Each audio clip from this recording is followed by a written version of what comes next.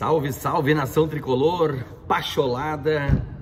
É, ontem aquela bomba do Soares.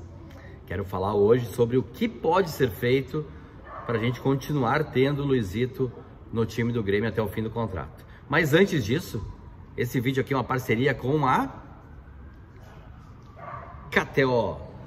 Onde a diversão acontece, vai lá, se registra, usa o nosso cupom promocional Pachola em letra maiúscula.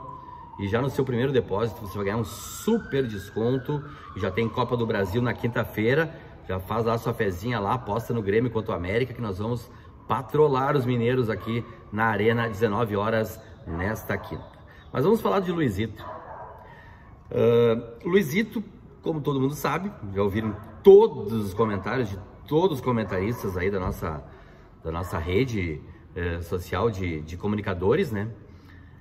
Conversou com a direção do Grêmio, pedindo, né? Falando, não pedindo, mas falando do seu desejo de se aposentar. E aí já se transforma uma tempestade num copo d'água. Aí o nosso repórter aí, né, Eduardo Gabardo, deu a informação e aí todo mundo já começou a despejar informações dizendo que ele vai se aposentar e não vai mais jogar. Então não é isso aí. Ele vai continuar jogando. Ele vai jogar muito tempo se ele quiser. Ele não vai parar de jogar, ele não vai abandonar o Grêmio, ele não vai terminar o contrato agora. Ele só falou das dores que se sente no joelho. E isso aí só sabe quem tem. Então tem muita gente aí falando, comentando, dizendo que ele vai parar, mas nem sabe o que é artrose. Nunca sentiu uma dor desse tipo. Nunca botou um calção e jogou. Então não tem como comentar. Me desculpe, mas não tem. Comentem o que pode ser feito, mas não que ele vai parar. Soares é um jogador que tem caráter. Hoje um amigo meu, colorado, falou isso aí.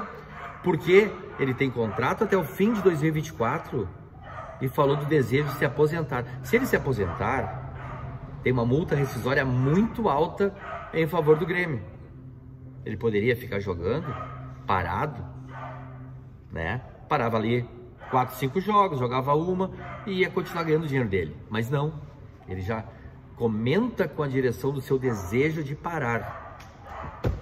Porque é um jogador que tem caráter. E eu concordo com esse meu amigo colorado. Então assim, pessoal, comentem o que tem que ser comentado. Não fiquem vendendo que ele vai parar. Aí fica todo mundo em redes sociais dizendo que Soares vai trair o Grêmio, que Soares vai parar de jogar no Grêmio e vai jogar no Inter de Miami, que ele vai resolver o problema de joelho lá, nem sabem o que, que é uma artrose, nem sabem o que, que é o problema de joelho que ele tem, não sabem o que, que é essa dor. E eu posso falar, porque além de ter jogado, de ter feito o meu curso de educação física que estuda lesões no esporte, de ter sido treinador e continuar jogando com essa dor há 10 anos mais ou menos que eu tenho uma artrose que vai aumentando de nível. O que é artrose? Tu acaba a tua cartilagem no joelho, tu não tem cartilagem, não tem mais cartilagem no joelho.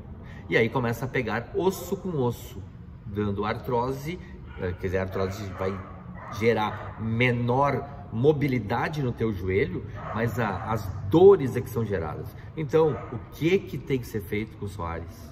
O Soares já falou do desejo de se aposentar. Então, agora resta alguém da preparação física, da fisiologia do clube, da fisioterapia do clube e também da direção do clube encostar no Soares e falar: Soares, tu vai cumprir teu contrato porque tu vai fazer o correto e não o incorreto. Eu acredito que ele já faça muitas coisas para recuperar o joelho, porque um clube como o Grêmio, que tem toda essa estrutura, não pode abandonar o jogador.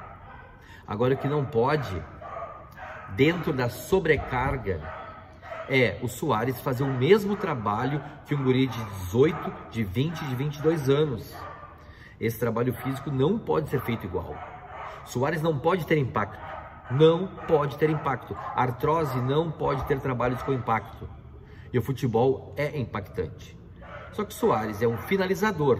É um jogador que cada vez mais pode ser um 9, apesar de ele gostar de sair da área, gostar de tocar bola, fazer jogadas, ser o pifador também em muitos momentos, ele pode ter um posicionamento diferente que não vá se movimentar tanto, porque a finalização dele é perfeita. Não existe nenhum jogador no futebol brasileiro com a finalização que hoje tem o Soares.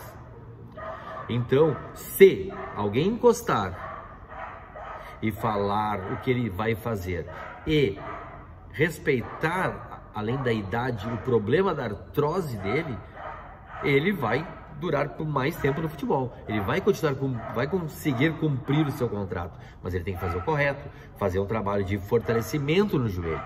Quanto mais forte o quadríceps dele for, melhor vai ser a mobilidade e menos dores ele vai ter no joelho. artrose, quanto mais tu para de fazer uma atividade, quanto mais tu para, mais uh, dores e, e, e, menos mobilidade se tem no joelho. Então tem que ter ali um pouco de massa magra, tem que ter força, tem que trabalhar essas valências para o joelho dele. Então não falem coisas que não saibam, não adianta. Né? Aqui está um educador físico que com propriedade pode falar sobre o que, que é uma artrose para o jogador e que também tem uma artrose em função do futebol. Então ele não vai parar, ele não vai trair o Grêmio. Não falem besteira, porque o povo, quando escuta as coisas, vai repetir o que vocês estão falando. E ontem, no comentário que eu fiz da bomba, como todo mundo fez, a bomba, a bomba quis falar sobre esse problema né, que o Soares relatou para a direção. E o que acontece? Até nos comentários, de, nos comentários do meu comentário, ficou ali um colorado com um gremista batendo boca, porque o Soares vai trair o Grêmio, porque o Soares vai sair, vai acabar lá na Inter de, de, de Miami. E aí é por isso que muitas besteiras que são faladas na mídia, o povo absorve e começa a ser expandido uma notícia que não é. Ele vai cumprir sim. Quem quiser apostar, opina aqui, bota aqui, aposta comigo. Ele vai cumprir o contrato. Pelo menos até o final desse ano ele vai jogar. Só que assim, ó, se alguém souber fazer, trabalhar né, em grupo, vai conseguir que o Soares jogue até o fim de 2024. Porque ele, fazendo o trabalho correto, como eu falei, ele vai conseguir sim jogar. E é isso que está faltando. E assim a gente está perdendo o melhor goleiro brasileiro que vai jogar num grande time europeu, que vai ser goleiro da seleção brasileira, porque ninguém encostou. Deixa o empresário tomar conta da situação deve até orientar o Adriel a fazer os erros que ele comete, e aí nós estamos perdendo um grande goleiro. Ele era para ser o titular, ele era para estar jogando e ele não está jogando. O Grêmio está sendo punido porque falta pulso, falta alguém lá que entenda de campo, vestiário e de gestão. O Renato entende gestão, mas alguma coisa externa não está deixando que o Adriel jogue no Grêmio. Tá? Só levantei o caso do Adriel, porque se fizerem com o Soares, ele vai continuar jogando sim, porque ele vai fazer o trabalho correto, ele vai fazer reforço muscular, vai fortalecer a sua musculatura do quadríceps e também posterior de coxa e vai fazer a fisioterapia, onde vai amenizar as dores ele vai aguentar, ele vai conseguir, depois de um jogo, recuperar mais rápido. E aí vem à tona aqueles assuntos, ah, não vai jogar em gramado sintético? Sim, porque sintético dá muito risco de lesão. E aí, quando a gente levantou os assuntos de grama sintética, lembram? Ah, grama sintética dá ou não dá lesão. Ah, não tem estudos dos, dos entendidos. Não há estudos que falam que a grama sintética não é a culpada pelas lesões. Como que não? Quem joga sabe que dá sim muita lesão na grama sintética. É diferente. É diferente. E por isso que tem uma cláusula que o Soares não joga em gramado sintético. Por melhor que seja o gramado sintético. Tá? E agora vem também dentro desse quebra-cabeça a questão de voo fretado. Ah, Soares só viaja em voo fretado. Por quê? Por quê, entendidos? Porque é mais rápido. É um voo curto. Ele vai levantar, ele vai ter outras ações dentro do avião, o que não vai acontecer no voo doméstico. Voo doméstico ele vai ficar três horas parado lá no aeroporto esperando para voar ali para São Paulo. Um voo que é rápido vai transformar em 4, 5, 6 horas. Essa é a ligação. Essa é a ligação. Esses são os fatos. Por isso que tem essas coisinhas que se falava do Luizito. Ah, Luizito não vai pro jogo contra o Palmeiras porque é gramado sintético, porque o voo não é fretado, porque ele quer ir pro Palmeiras para não completar os seis jogos. Parem de falar besteira. Parem de falar besteira. Vamos falar futebol. Futebol é campo, vivência, vestiário e entender de futebol. É simples, simples. Acompanhe aqui, comente aqui o vídeo, a, a, sigam aí, arroba Brandão Personal, Brandão Professor. Até me atrapalhei, porque assim, ó, é de se indignar com algumas coisas que a gente ouve. E graças a Deus hoje eu estou numa grande rádio aí, oito anos no ar, Rádio Pachola, a primeira identificada com o clube, que vai falar realmente as coisas do clube. Então hoje faço uh, assim, ó, muita satisfação de estar na rádio e hoje poder falar as coisas, porque eu joguei eu vivenciei, eu tive vestiário e continuo jogando e continuo convivendo com jogadores, ex-jogadores. Então é muito mais fácil, quem sabe, tem todos esses caminhos, do que alguém que nunca fez nada. E a gente tem que ficar ouvindo essas besteiras de vários por aí. Então, curte a Rádio Pachola aí, compartilha.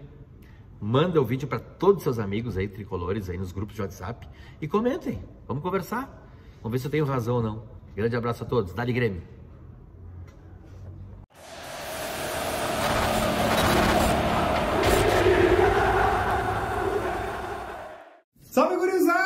Seguinte, ó, tá vendo essa camisa aqui, ó, camisa celeste do Grêmio, cara. Essa camisa, ela tem lá no site da Centauro, que é a mais nova parceira da Rádio Pachola. Tem um link na descrição desse vídeo que te leva direto pro site deles. Além de tu receber o teu produto em casa, tu também tá apoiando a Rádio Pachola. Então não perde tempo, clica no link e vamos que vamos, que é o Grêmio não adianta. Tamo junto!